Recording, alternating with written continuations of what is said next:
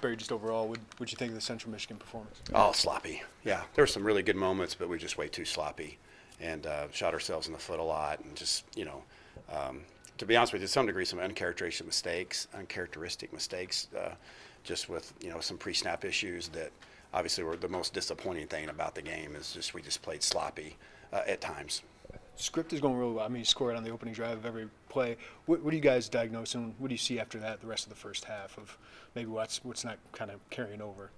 Oh, I don't think it has anything in relation to the script. You know, I mean, obviously we, we script, you know, in between series too, you know, like as far as what the plays are. And, you know, in my mind, I, I kind of have a bank of them that we go with and talk through. And so uh, I think sometimes maybe the familiarity of practice them a little bit more on the previous day in the flow, which we do. We try to get, you know, a few of them to start the game out. Uh, and then so really after that, you know, it's I don't know necessarily about making adjustments, but we just didn't execute, you know. And and there was obviously just like every game I've ever coached and called, there's going to be a handful of plays that I that they have a better call than I do, and that's the cat and mouse game. Of that doesn't make it okay, that doesn't make it acceptable, but the truth is that's the way it is in football at every level. That there's times where you call a play and it's not the most optimum look, you know, and uh, and they had that happen a few times, and it's my job to make sure that doesn't happen very often, you know, especially in critical moments. So, but we got it. We didn't execute really well uh, in the middle, similar to uh, a couple weeks ago. You know, just we're hitting too many lulls right now, offensively. A lot of signs of life, just hitting some lulls that obviously, as you go on the road, we're gonna have to tighten up. Seems like Luke has really good chemistry um, with Pat Bryant and Franklin. You know, against a defense like Nebraska, is it vital to kind of have that passing game clicking? Oh yeah, I mean it, anybody we play. I mean, obviously Nebraska is a uh, they've got a great team, a great defense. Um, you know, it's obvious when you turn on the film. We know that from playing them last year. The scheme is a really great scheme, and they've got a lot of confidence. And but anybody you play in the Big Ten, you have to be balanced. And um, and if you're not, you're going to be in for a long day, one way or the other. And so we got to continue to throw and run the ball to have to have the opportunity to be successful. Last year, only seven points scored against Nebraska. Um, what do you think is kind of different with this offense coming into this year? Are you more confident about this meeting? Well, last year's last year. You know, we talked even even when we reference Kansas or the rematches. Obviously, that's there's a lot of people that were involved in that, and there's some people that weren't. You know, on a part of our team, and the ones that were, starting with myself. You know, that's not a great feeling when you, you let your team down and you don't score. Uh, it's our job, as I've said it several times, and it's not my saying, it's anybody's saying, is that my job and our job is to score one more point in the other team. And um, you know, whatever that looks like, whatever that feels like, we don't care. And uh, you know, obviously last year we didn't get it done, and this, this year presents a new opportunity and uh, against a very formidable uh, opponent and, a, and, an environment that'll be really challenging. Barry, what do you like about what's going on in the perimeter run game right now, especially maybe like the pinball action that you've got with your interior guys? Well, I think we our tackles are athletic and can pull and. And uh, you know, our, I think our receivers do a really good job blocking on the perimeter, uh, and you know that's something that we got to continue to grow um, just in general. We got we got to be able to attack all field zones, you sure. know, at any time, in any run or pass, you know, and that's that's when you're good on offense is when you can go horizontally and go vertically with run and pass. That's when you've got a good system, and we've been inconsistent in that regard. We've had flashes in those schemes that you're referring to, and uh, we've got to be sharp in all of our phases and all of our schemes this week. Coach, when you're three games in, what, you, what can you learn about yourself just watching your own game film and how does that kind of inform yeah. uh, how you game plan for this week? Sure, that's a great question because you know you think you know, and the best way to find out about who you are is play games against good teams, and we have. And now we're about to play a real, you know, a great a great team, and uh, on defense, you know, I mean overall just a really good team, you know, and uh, in particular defensively as we go into my lens as I look through the lens of it, you know, this defense is uh, will be a you know probably the biggest, strongest, fastest defense we've gone against at this point in the season and so what I've learned is that when we execute, you know, uh, the good things happen. When I put my guys in good positions um, and we execute the way we're capable of, good things happen. Now we're going to have to fight, scratch, and claw for everything we get. Um, and execution will be at a premium this week. So that's the biggest takeaway for me is like when we, we do things right, we put ourselves in good position, we can be really good on offense. And we don't, uh, when I don't put them in good positions, we don't execute very well, we're, we're going to sputter at times. What do you see you guys want to run the ball better? Coach Beal always talked about that. When you go about troubleshooting that, personnel, play, whatever formation? How do you kind of go about it? What are you seeing right now? Yeah, you dissect everything, right? You go, you look at, um, you know, uh, through the first three games, what you've been efficient in, what, what you know, what's give you problems, and you reflect on the previous game and say, well, is this scheme related? Is it call related? Is it execution related? Is it personnel driven? All those things. So it's, yeah, I could talk to you for an hour about how you dissect that, but it's our job to peel that back to put our guys in the best position that they can be possible to be able to execute and, you know, stay ahead of the chains and be efficient in our running game. We've had moments of that. We've had flashes of that. We've got to have more consistency there. What stands out to you about Nebraska's defense? Big, fast, strong, you know, big, fast, strong, confident. Um, and, um, you know, I think it's, it's impressive to watch them play. And, um, you know, but our guys, are, you know, our guys are going to be ready for that challenge. And they know it's a Big Ten battle on the road. And they know a lot of our guys know what that looks and feels like. The guys that are new to the program, they don't, but they're going to figure it out in a hurry.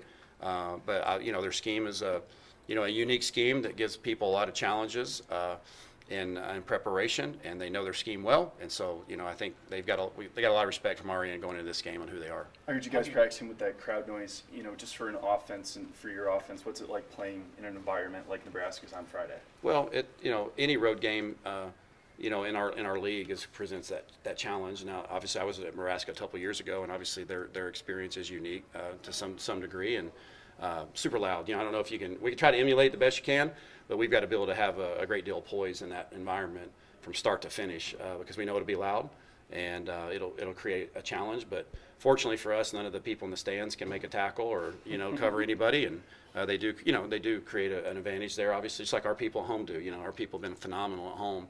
Uh, and the noise and the and when to use the noise, and so that they certainly are very educated fans and do the same thing. We've got to be able to handle that challenge. Are you pleased with addressing the pre-snap penalties from last game through this week so far? Because that's obviously something that crowd noise can contribute to. So absolutely, yeah, that, that can add complexity on top. of That's one of the disappointing things about, in retrospect, you know, we're at home and the environment didn't create any challenge, and so now we're going into an environment that will create challenges.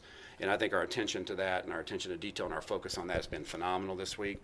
Uh, but we got to carry that on tomorrow and the rest of the week, and then take it into the game and apply that. What's your message to the offensive line right now? Is you and Bart and, and Coach Bielema um, obviously want more out of the run game? What, what's your message to them? What do they need to do? Well, they're just like anybody else on our team, uh, starting with me. Uh, we got we got to get better. You know, I mean, we got to look in the mirror and figure out, you know, what I can do to help our football team become uh, uh, more complete and more in sync. Because again, there's phases, there's times, there's moments where it's like bam, you know, bam, bam, bam, you know, and then there's moments where it's, and that's kind of football in general, but there's too many of those right now for us, you know, for to be uh, the consistent the offense that we want to be. So it starts with looking in the mirror. How can I get better? How can I put my guys in better position? And they have to look at that same way as how can I improve? And then it starts functioning as a unit, you know. So it's a it's kind of a micro picture um, and then it goes to a little bit of a, more of a macro view. And so all those matter. Uh, and and uh, I hope I use those examples right. I'm not sure if I did, but it seems like it made sense to me, you know. And but we we just we just got to be more synced up, you know. And um, and that's we've had moments where guys have played really well across the board, in particular the line. They've all had their moments, right? We just got to get them all five playing together at the same time, and, and I'm confident we we're going to get them there. Coach, you moved, you guys moved into the top 25 this week. Is that, is there value there at all for you as a coach and also the- as for the team or not? Well, sure, there's value there. I mean, I, we don't, we don't pay much attention to the outside noise, but Right. sure, I mean, it's a lot better than being not ranked. Yeah, we gotta go, you know, we gotta go and earn, earn that, you know, uh, earn that ranking or, you know, not back that up, but it's, you know, our guys, our players have put themselves in position to be noticed because of the way we started the season, and that's always good. Uh, does that, is that gonna carry any weight when we go in the game on, uh, Friday night? No, it won't carry any weight when the two teams are on the field, nor, nor where they're ranked. You know, it's just two teams getting after each other, but it's a nice, I think it's nice for our players to be recognized for that. And they know, the guys that were around here a couple of years ago know that the more, the more you have success, the more those good things come your way, you know, potentially. Uh, but we're focused on Friday night and having to go to the road and go on the road and, a- and a really, uh, playing a really good football team on the road, and we're gonna have to, we're gonna have to play our best. Barry, it seemed like in the preseason, a lot of the talking points was that Luke's processing was getting faster, the ball was getting out quicker. I would imagine through three games, you've, you've seen that. of Yeah, I think that backs that up. I mean, uh, uh, you know, there's there's uh, there's still some times where, you know, like, uh, you know, we it, that maybe we want it just a little bit faster, but like that's every game I've ever coached or every quarterback I've ever coached. There's always a play or two. You're like, speed it up. I think he's been. I really like where Luke's at. You know, I really like where he's at and the way he's seeing things, the way he's playing, the way he's communicating. Um, and uh, you know, get, I think our team's ready to offensively to another day work to get ready to go over there and, and see what we could do. Uh, but I do like the way the quarterback is processing the game and, and playing.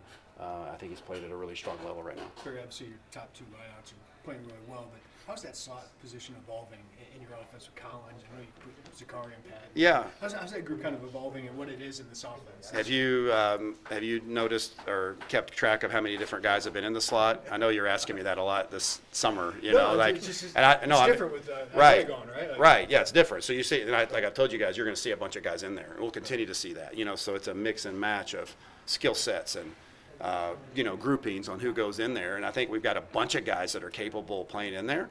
Um, and so it's been good to see each of them have their kind of the moments. You know, uh, all of a sudden, sometimes I don't even know who the you know like who's in there just because we have some free rotation. A guy may be tired, and I looked up and we threw the bulb, and it was Collin, who's you know who is our starting slot, and and then another time it was Hank in there, and, and so that's I think that's good for our team to create balance.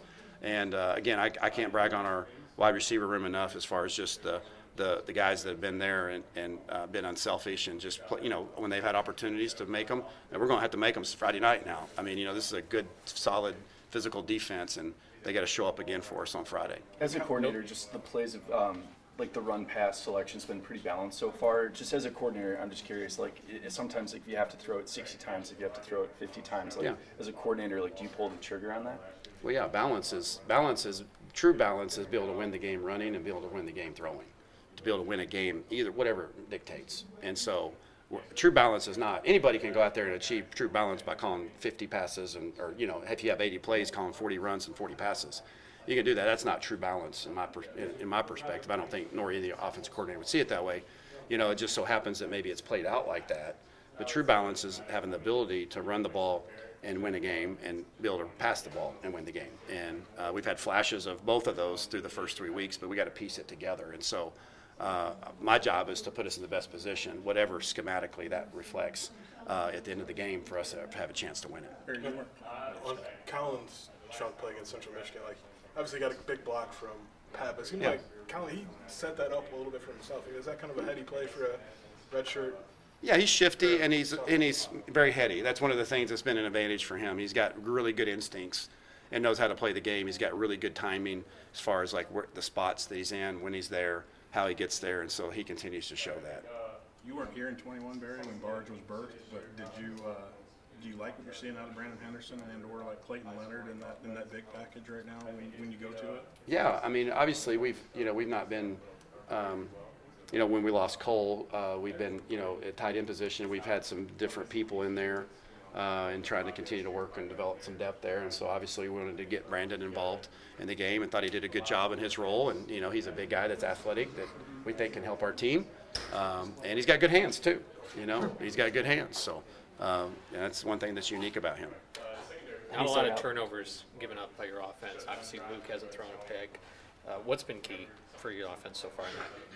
Well, I mean, just, you know, obviously we know, everybody in the program knows how important, uh, you know, that battle is and taking care of it. And so it's, a, I think it's an emphasis by, by them and understanding that and, uh, you know, an emphasis by the staff. And obviously that's something that is huge in the, uh, huge, uh, predictor and outcomes of, you know, close-knit games and close games is just, uh, you know, who takes care of the ball the best. And that's going to be obviously a premium moving forward for every one of these Big Ten battles. I feel like Luke too is when he misses, he's missing in the right way. Is it, you know, to it, it, whenever Yeah, I whatever understand what you're chances he saying. takes, Yeah, uh, yeah, I mean, obviously, I, I don't, you, you don't ever want to miss, uh, you know, when a guy's open, but if you miss, there's some, there's some, uh, you know, like he pulled one back the other day that he missed, he saw something and he didn't see it, he saw it wrong and he pulled it and went down the ground, you know, and so he's, he's having some awareness of it and these guys, uh, you know, obviously Friday, they, they do a good job of, of kind of preying on that, so we got to be smart and take care of the ball again on the road.